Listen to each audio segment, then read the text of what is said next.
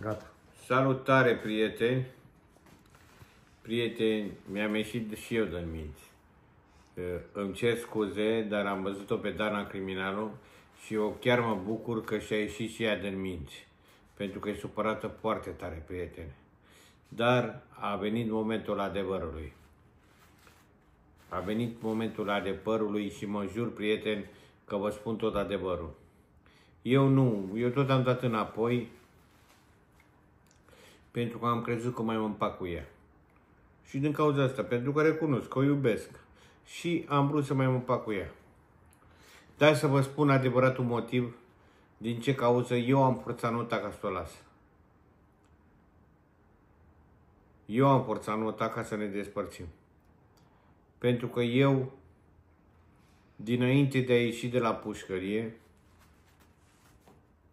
eram certați, eram despărțiți. Și când am intrat la pușcărie, am sunat-o și atunci ne-am împăcat. Eu m-am gândit să mă împac cu ea pentru că era nebasta mea de mult timp, dar eram despărțit. Și când am intrat la pușcărie, puteți să o întrebați și pe ea, că vă spune adevărul, nu vă minte. Și ne-am împăcat la telefon, eu fiind la pușcărie. Dar din ce motiv ne-am certat noi înainte de pușcărie, înainte de a intra la pușcărie și înainte cu mult timp, 4-5 luni de zile, ne-am despărțit. De ce, prieteni? Mi-e rușine să vă spun și mi-a fost rușine să vă spun, prieteni. Pentru că am prins-o cu câinele, cu mistrețul. Deci femeia este zoopilă. Deci am prins-o cu câinele. Când am intrat în casă, era câinele peste ea. Dar mi-e rușine să vă spun. Să vă spun cum era. Deci asta e. Lui Dana îi plăcea tare mult să cânte la cea târnă. Cânta și la cea târnă, la câine. Mi-e rușine să vă spun, prieteni. Dar eu am trecut peste, dar și am zis, haide să mă împac cu ea. Mă gândeam, oare, Doamne, dacă o rămâne gravidă cu câinele, ce mă fac? Când va naște ea și ea un copil. Mă rugam la Dumnezeu să-i vină menopauza mai repede ca să nu poată să, nu poată să rămână gravidă. Dacă rămânea gravidă cu câinele, o beleam. Doamne, iartă-mă, Dumnezeule. Să mă ierte pe mine, Dumnezeu, vedeți?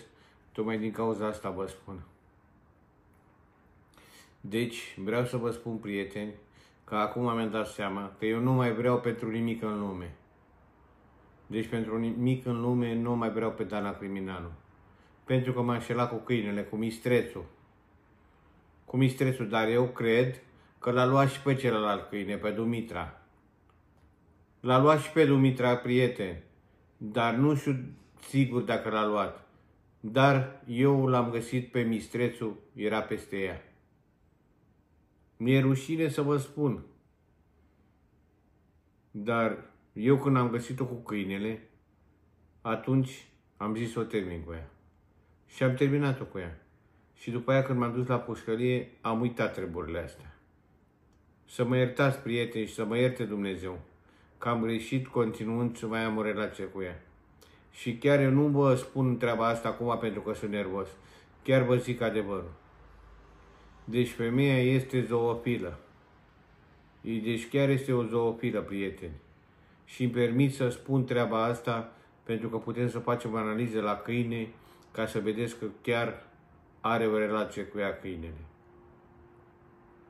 Ea are o relație cu câinele, prieteni.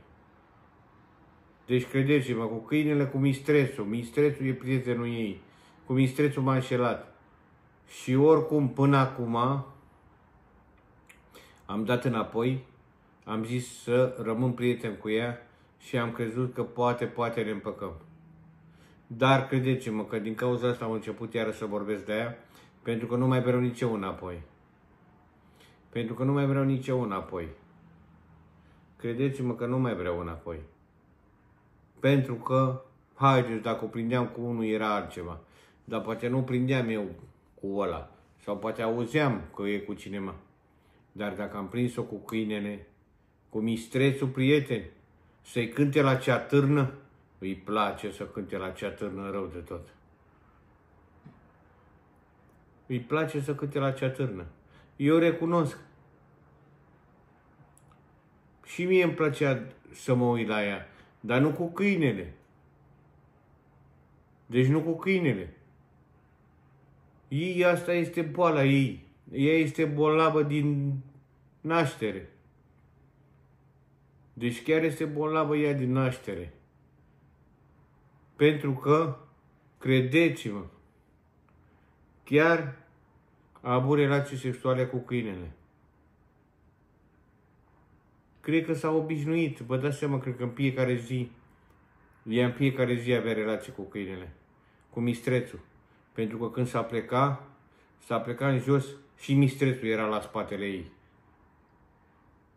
Era din obișnuință, cine știe ce. Ea din cauza asta nu purta chiloți.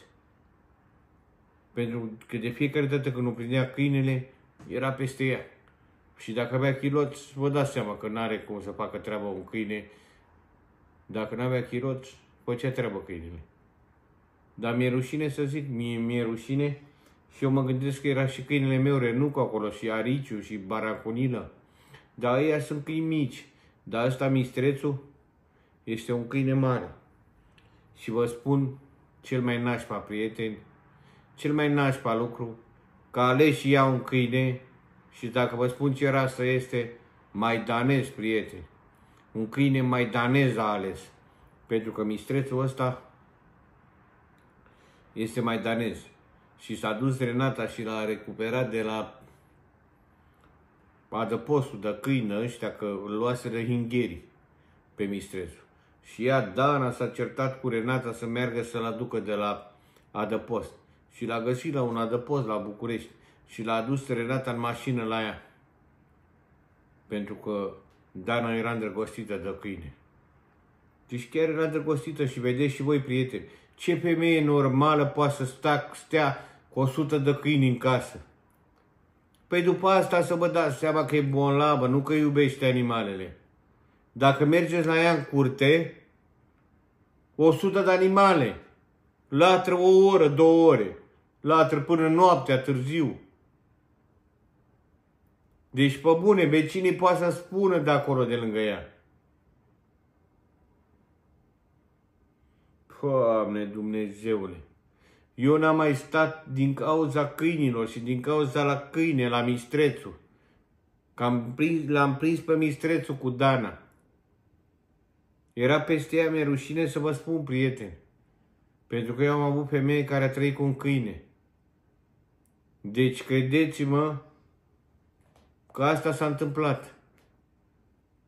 Pentru că se întâmplă pel și pel de lucruri în țara asta. Uitați, și la mine s-a întâmplat ca să o prind cu mistrețul.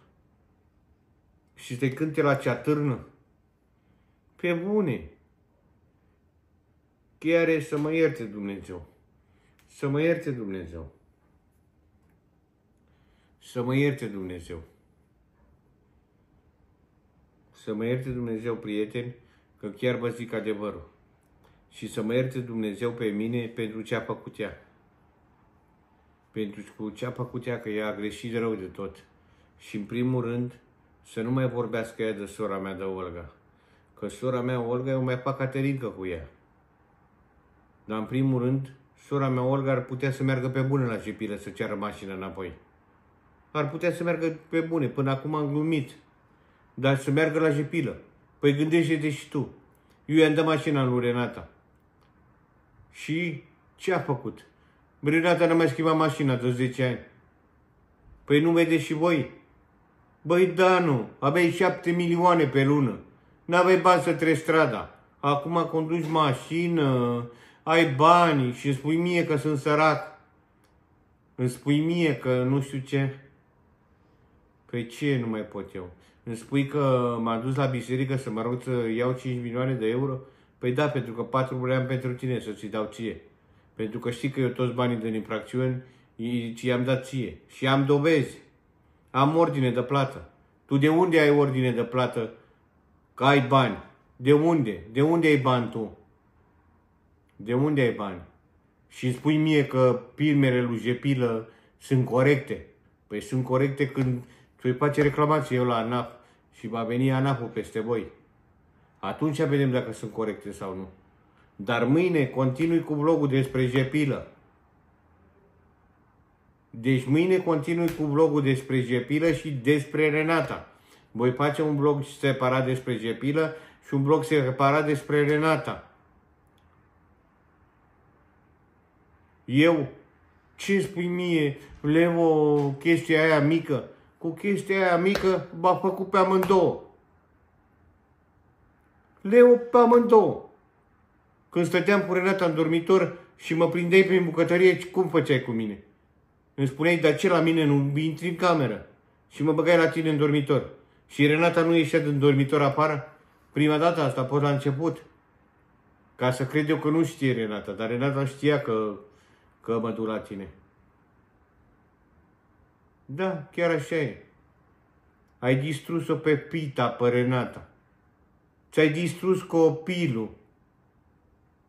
Ți-ai distrus copilul, zoopilo. Ai luat și câinele, l-ai luat și pe mistrețul. Bai, dă capul tău. Îmi spui mie, păi Leo de la Strehaia va arăta șmecherie, băi, petelor. Te-a dat și pe tine și pe Pita. Și v-a pus și pe amândouă să vă luați din în gură. Și ce spui, că avea chestia mică? Păi cu aia mică v-a făcut pe amândouă. Ați înțeles? Voi ce ați făcut? Mi-ați luat banii. Păi eu m-am distrat. Ați înțeles? Pentru mine era o distracție că vă dădeam bani. Păi da, nu mai spuneți voi că... Unde? De unde? Renata de unde? N-aveai bani să treacă strada, tu n-aveai bani să treci strada. De unde ai bani tu acum? De unde? A, că ai fost la emisiune și ți-am dat eu 2000 de euro. Ia să vedem, ai contractul cu Canal Deu că ți-a dat 2000 de euro? Sau are Leo de la Strehaia? Și Leo ți-a dat din banii lui 2000. Eu ți-am dat 2000 de euro ca să apar la televizor și să spui la lume ce ai pățit tu. Cum ai înșelat-o pe, pe, pe Pita. Ai înțeles? Aia am vrut să arăt, că eu nu mă interesau banii. Și din cauza asta ți-am dat 2000 de euro pe emisiune. Ți-am dat să apar la televizor ca să demonstrezi la lume cât de proastă ești. Ai înțeles? Dar nu să vii tu acum după nu știu câți ani. Nu că, domne, n-a fost așa, a fost o regie. A fost o regie, că Leo prima dată pe Pita și după aia pe tine și după aia pe amândouă. Părinte. Pe amândouă dată. Mie îmi plăcea, recunosc, să vă văd pe amândouă că vă luați din în gură. Era satisfacție maximă. Deci ai înțeles și tu știi că mie îmi plăcea. Și știi că mi-a plăcut atunci. Oricum e rușine de voi, prieteni, îmi cer mii de scuze că povestesc chestiile astea. Că nu e bine să vorbești cu cineva de... Dar ei nu e rușine să mai ia să ia să vorbească, să zică că nu e așa, că a avut chestia mică Leo. Păi Leo de la Streia Mars pe amândouă. Deci nu mai vreau să zic. Gândește-te. Gândește-te și dau de jurat. Blesteamă-te tu în față la public și la lume. Că n-ai cântat la cea târnă lui Leo și tu și Renata. Băi, Dana, băi, blesteamă-te. Zic că nu e așa, așa te crede lumea. Blesteamă-te, zi să parți în foc. Ai înțeles? Dacă e adevărat sau nu. Dar ce să zici, vii și zici infractorul ăla? Păi infractorul ăla a furat bani pentru tine. Dă-te mai în spate și te pare în puțin. Dacă te vezi bine. Da? Da. Infractorul ăla a furat bani pentru tine. Și el a făcut, a făcut pușcărie și acum urmezi tu să faci pușcărie. Da. Și iară cu chestia că ai 60 de ani, ai 53, dar tot ai 60. Tu n-ai văzut că ești desfigurată la față? Ești terminată? Tu n-ai văzut cât botox să-ți bagi? Nu ți-e rușine? Pe bune, nu vezi cât botox să-ți bagi? Tu te crezi și tu că mai ești ca alea tinere? Păi ești chiar bine la corp, n-am ce să zic.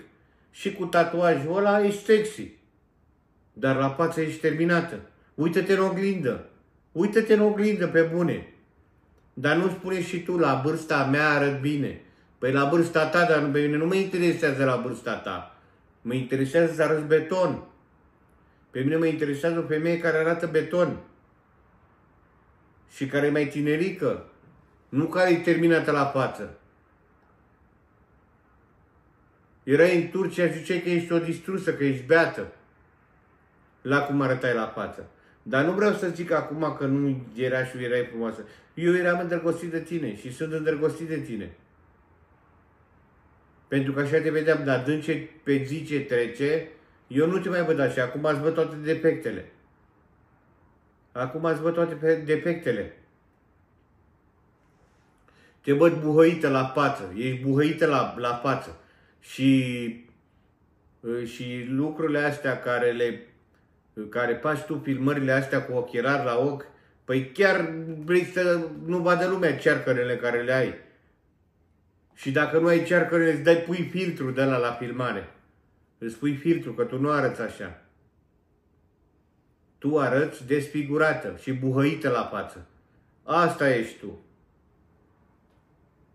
Ați înțeles? Și oricum tu ești bună, dă filme porno. Cine te vrea, te vrea pentru filme porno. Dar nu că te vrea cineva de bună. Pentru că nu te-a luat nici de la construcție, sta cu tine două zile și după două zile nu ți-a mai răspuns la telefon.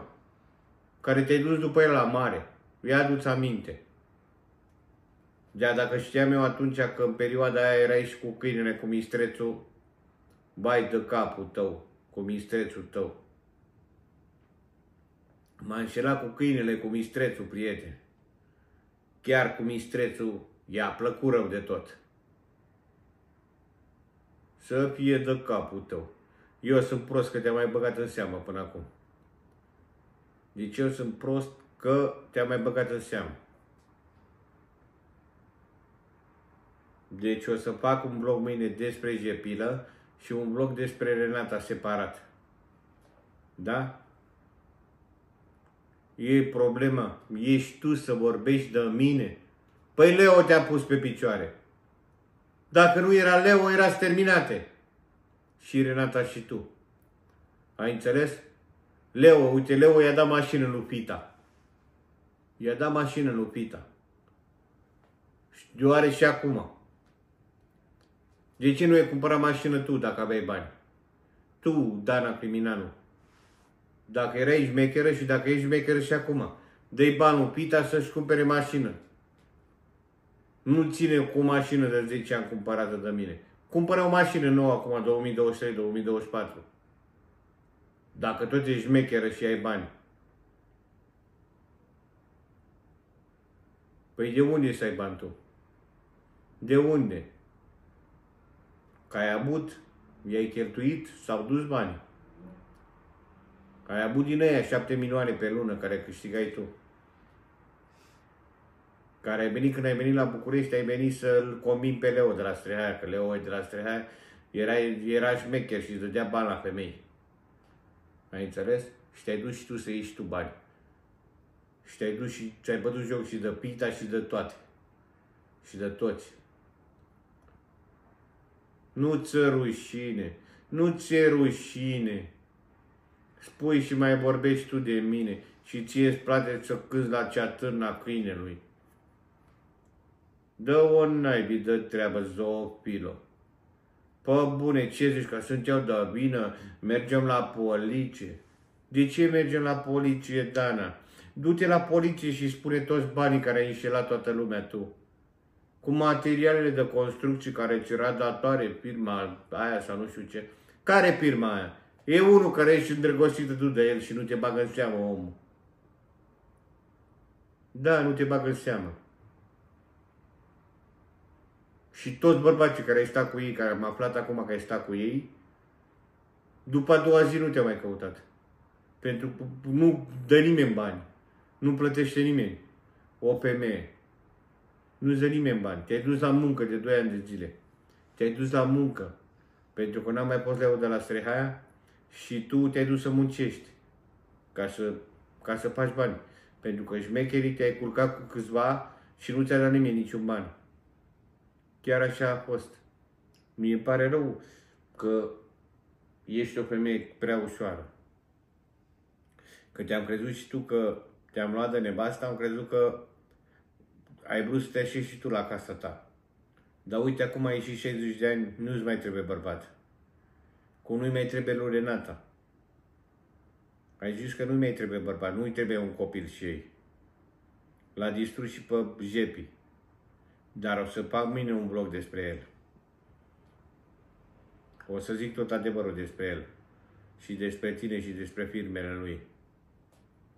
Și despre Renata. O să, o să fac alt vlog. Și o să spun tot. Tot ce știu. Și o să se bucură Jepilă din suflet când o să audă ce o să spun. Că poate să verifice, să vadă că e adevărat. Că nu mint. Eu nu mint. Eu chiar acum spun adevărul. Prieteni, vă mulțumesc că m-ați urmărit și vă mulțumesc în suflet. Vă pup, prieteni!